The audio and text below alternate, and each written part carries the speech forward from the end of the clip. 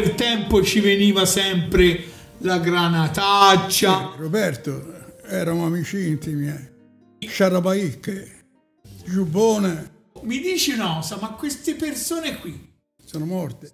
Eh, caro mio, siamo tutti di passaggio, niente eh, Io l'ho conosciuti tutti, eh. la polveriera, sì. ma non la polveriera ora, la polveriera quando stava in, in via, sull'angolo di via Principe Amedeo. Noi si parla della polveriera vecchia, che qui la mise a nome Luciano e Ballerini, Oba si chiamava di soprannome, perché la chiamò la polveriera? Perché ogni po' c'era Azzotti con Sciarabaicche, Giubbone, la Granataccia, c'erano tutti.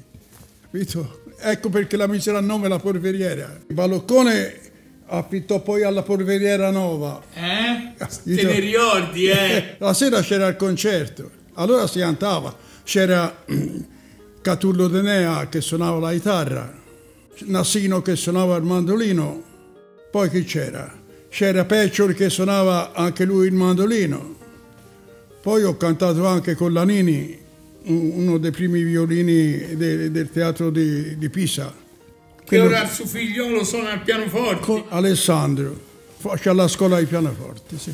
O, o dimmi un pochino, ti ricordi della canzone La chitarrina che cantavano le donne che lavoravano alla Cucirini? Eh, la Cucirini eh, eh, andò giù nel bombardamento. sì, ma andò giù le mura perché l'Aucirini era la cantonina. Sì, la fabbrica classe era a Lucca, qui era la succursale, Cantoni Coates. Allora ti hai conosciuto anche chi aveva fatto lo zatterone Narno? Anch'io che ero alla, alla, alla zattera? Siamo Albaini. E quello che tirava fuori i Varini era il Gobbo, lo zio di Enrico che aveva Varini. Poi c'era il suo fratello che era Nassino, che aveva una miseria, bruciava, e venne a dare una mano anche lui. Poi c'era eh, il Baini, e, e, e, tutti gli si dette una mano. Venne anche Giubbona a darci una mano. E poi fece lo zattero e si faceva le scene e si andava. Ce n'hai punte fotografie di esempi? No. Sì, e ce l'ha Ricci? Eh, Ricci ce l'ha, sì. Ma aspetta, se Furio Ricci eh, l'ho conosciuto, ora c'è il suo figliolo lì, chi c'è? C'è più nessuno. C'è più nessuno nemmeno lì. Eh. Eh. Ma io ti voglio anticipare una cosa. Avevo 13 anni, eh. nel 1943 venne gli studenti da Pisa, allora la fermata del tram era in piazza de, del comune, dove la banca era l'ultima fermata, arrivava lì c'era e, ossi e respingenti, capito? La Camilla. La Camilla dell'Ante eh, era chiamata. O perché? Ma l'Ante non ho mai capito cosa voleva dire. Deve essere chiari. Camilla dell'Ante era chiamata così. Cosa successe? Successe che venne, che venne gli studenti da Pisa e vennero con una canzone. Appena scesero, cominciarono a cantare. Ponta de Resi, non siamo non siamo Ponta d'Eresi, la nostra virtù sotto il ponte, sotto il ponte fa le legna. E di lì che venga, e di lì che venga, sotto il ponte, sotto il ponte fa le legna. E di lì che venga a fare all'amore. Era lei, sì, sì, era lei, no, no, era lei che lo voleva, era lei che lo voleva, eh sì sì, era lei nonno, era lei che lo voleva, quel mazzolin di fiò, con codesta giacchettina, col trallera rillallera, con codesta giacchettina, col trallera rillalla, me la dai sì o no, baccaleo, baccaleo, me la dai sì o no, baccaleo, non te la do, non gliela vuole dare. Ma, ma feci quasi bene. bene. O dimmi un po' quando andavi in queste, chiamiamole bettole, di Pontedera che non si trova più neanche una fotografia, peccato, peccato, più peccato. Le più belle era da, da Ghego, da Barba. Dove era? Ghego era in via Montanara, Barba era, era lì dove c'era la polveriera nuova e governava Tarponi, perché da, dalla parte là c'è il convento delle suore, capito? Che confina con la polveriera, quella nuova.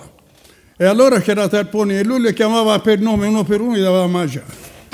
Sì. Eh, ma è bella storia quello che stavo a dire. Questa è la verità. Si- si- si andava- quando li governava si andava tutta a Cremea lì, che io sono nato sul ponte. Però eh, e passiamo Cremea perché la, la crema era in Cremea. O come si chiamavano questi tarponi? Ti ricordi anche? No, uno, lo- uno sì, Gigio lo chiamava. Era quello più grosso, sarà stato un chilo e mezzo. Era. Aveva una Allora era nutria. che montava sulle- su- su- sul ginocchio e lui lo governava. E come gli dava? Più che altro grosse di formaggio.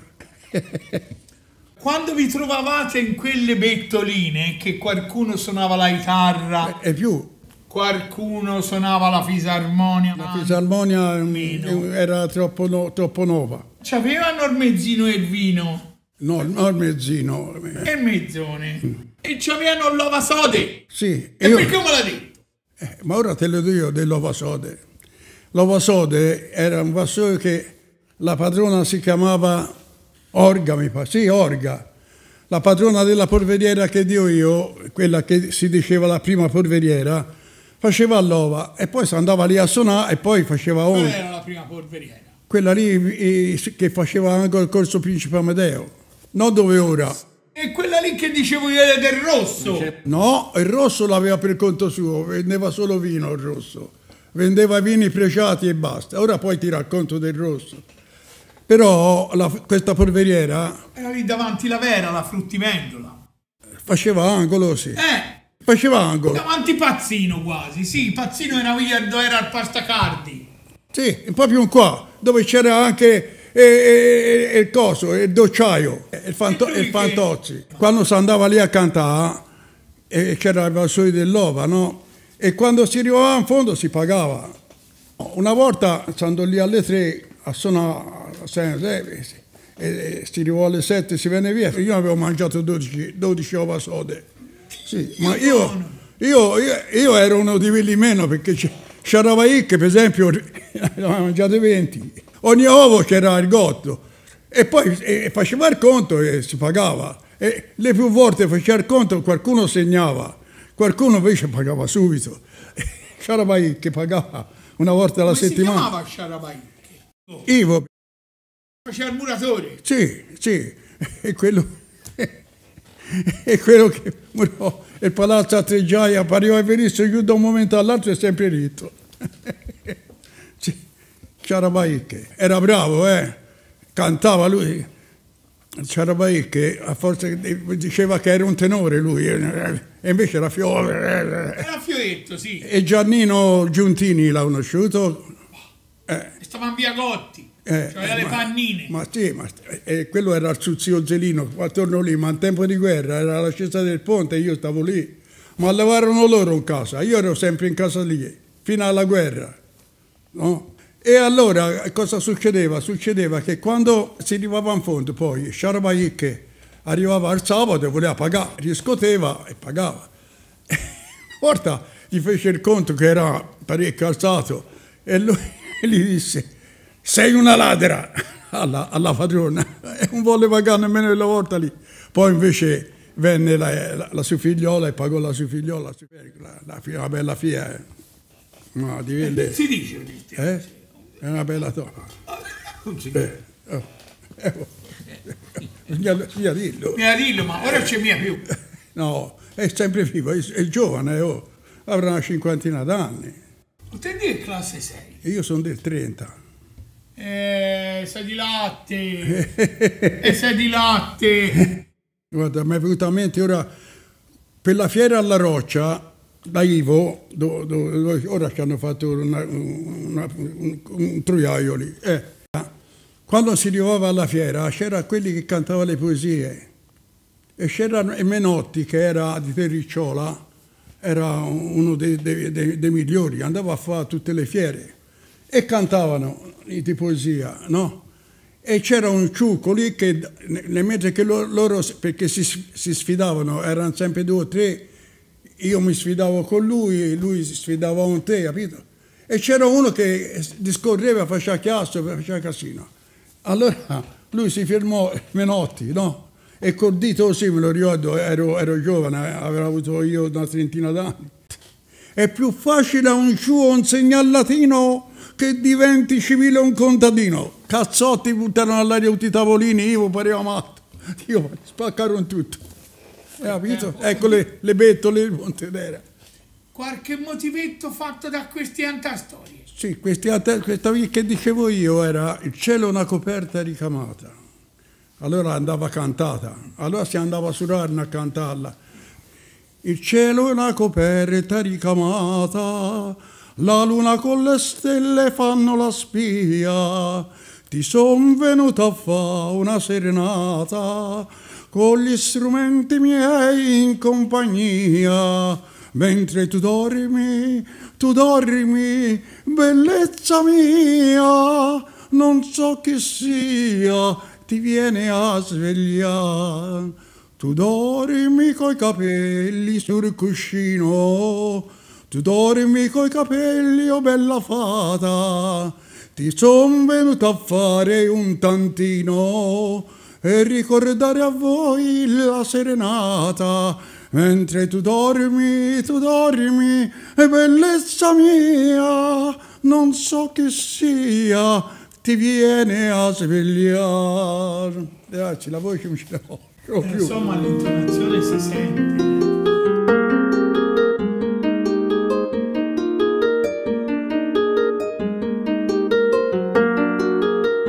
A quei tempi, alla Chiesa della Misericordia, allora c'era Eladia a Pontedera, Accettone, sarebbe stato il babbo di Primino. Si chiamava Accettone perché era un omone, un omone grosso, lo misero il nome Accettone, ma era un ladro di quelli. E rubavano a Chiesa della Misericordia. Allora a quei tempi alle madonne gli mettevano le ateniene d'oro, se avevano avuto no, un, una frighiera. Piero Pierazzini era segretario del fascio, si parla prima della guerra, eh? era segretario del fascio. E quando ti diceva vieni un po' su era un casino, capito? C'era una scala, ora dove c'era la finanza, c'era uno scalone grande, no? E c'era il piantone sempre, era il pallino, aveva la voglia del re, noi lo chiamavamo così. Eh. Quando le vedeva montare lo scale faceva lui le ruzzola, no?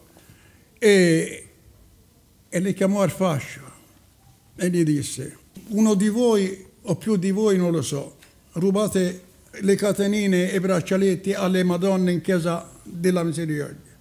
Vi chiamo e vi spacco tutte le botte. Lui a quei tempi era già, perché lui era un forestiero, era venuto lì, do judo. Era cintura nera di Cintura, judo? Sì, era, sì, hai detto proprio bene te. Dopo la guerra rubavano le biciclette, le chiamò tutti al fascio e gli disse io non voglio sapere se siete d'accordo con i livornesi, con i pisani, con i lucchesi, non mi interessa nulla.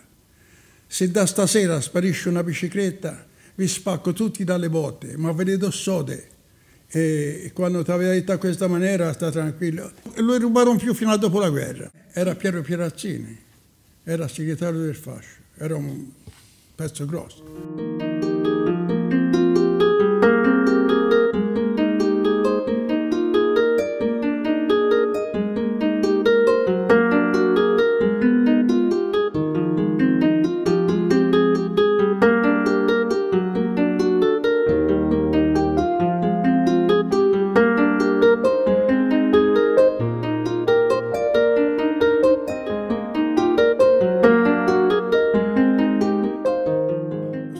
Casa di Giannino Giuntini. Io ho ottenuto le chiavi di Asa perché finì tutti i varini e tornò a casa al villaggio a Pianerottolo mio. C'era la, la figliola Adriana e la Silvia che la Silvia era la più bella ragazza di Pontedera, ce n'era mia arte belle come lei. Era una, era una bella coppia anche. Io ho retto lo strascio a Giannino con la sua moglie che era la Fernanda, la figlia che lei vendeva il ghiaccio. Non so se l'ha sentito metà. Eh. E poi alla sua sorella, la Isce, che aveva sposato giunto lì, anche lì in Chiesino, lì dove ora il ponte, che ora è tutto franato, lì, e andavo a reggere lo strascio alla Isce e a Giannino. È tutto franato dalla guerra. Dalla guerra. Era San Giuseppe. San Giuseppe. E la chiesa di San Giuseppe era quella lì. il Chiesino si chiamava perché era piccino. Ora è l'oratorio. Ora è diventato un oratorio che fra l'altro è padronale e di quello che sta in piazza lì sul piazzone che c'è il cancello lì è suo quello lì. Fa parte, era una chiesa proprietaria e il proprietario era questo Frangioni. Altri personaggi? Carzine. Carzine era il fratello del pesciaio di Gosto, di Bellucci. Lo zio di quello che ha chiuso la pescheria ora in via Ranieri Gotti. Lui non ha mai lavorato in vita sua, ha fatto diversi anni di prigione, però non si poteva voler male. Lui più che altro eh, andava con cavalli, no? Ha avuto anche cavalli da corsa. E un giorno passò, allora c'era Cuscerini, dove c'erano le poste, le, le poste quelle grandi, non queste vie, eh, le poste laggiù, c'era Cuscerini, ci lavorava 150 donne. Lui passava col barroccino di lì per andare a staccare da Rosati il cavallo e vide che c'era un povero a sedere lì sullo scalino delle, della, della tessitura dove sortiva le donne e vide sortì il padrone, e, e Angelo Ricci. E lui tirò fuori a quei tempi un aquilotto, erano 5 lire, era la paga di un operaio un giorno. E disse, tieni, levati da, da umiliarti davanti a questi qui occhiosi. Capito? Era un elemento fatto a quello, ma era, lui era mio intimo di Picchiotti, perché era stato in galera parecchio. Eh. Era soldato a Piombino e, e c'era un, un, capitano che tutte le notti li chiamava, c'è sommergibili, sommergibili. Invece erano quelli di Piombino che facevano le arbonaie e poi buttavano orbelli, erano sfondati, le buttavano in mare. E lui vedeva questi orbelli e, e, e, lui ci si prese, tutte le notti li svegliava. E lì gli dico, una volta gli ho, gli ho domandato a questo qui e lo mandarono a Montelupo, capito? E a Montelupo c'era il carcere criminale, sì, il. Come si chiamava questo T eh. di soprannome? Carzine. Perché lo chiamavano Carzine? Eh, se mai saputo. E era fatto a quella maniera lì, però era, era, era fatto a quella maniera. E quando arrivò all'età, gli dettero la... cioè lui andò a Roma e siccome era mio di Picchiotti, perché in, in casa sua lì, il venerdì facevano pesciaioli, erano 13, 14, 15 a tavola, c'era 6, 7 avvocati di Pontedera, erano tutti lì a mangiare. E lui venne quella, quella mattina lì, era stato a Roma, c'era stato dieci giorni, e venne e a Picchiotti gli disse, era, era il meglio avvocato, de, e disse allora caro Picchiotti mi hanno dato la pensione, perché era stato in carcere laggiù. Dice Tieti, dice una legge di Mussolini che è stata levata allora eh, agosto al fratello di Arsina gli disse mi vai giù in macchina e mi porti sul codice così le vedo subito. Andò, gli prese il codice, quando arrivò lì e, c'era sempre e gli rimase via Picchiotti, capito? Te l'avevo detto che mi aveva... e prese la pensione. Sono tutti ricordi di gioventù, Sapodesti. È veramente una bella storia.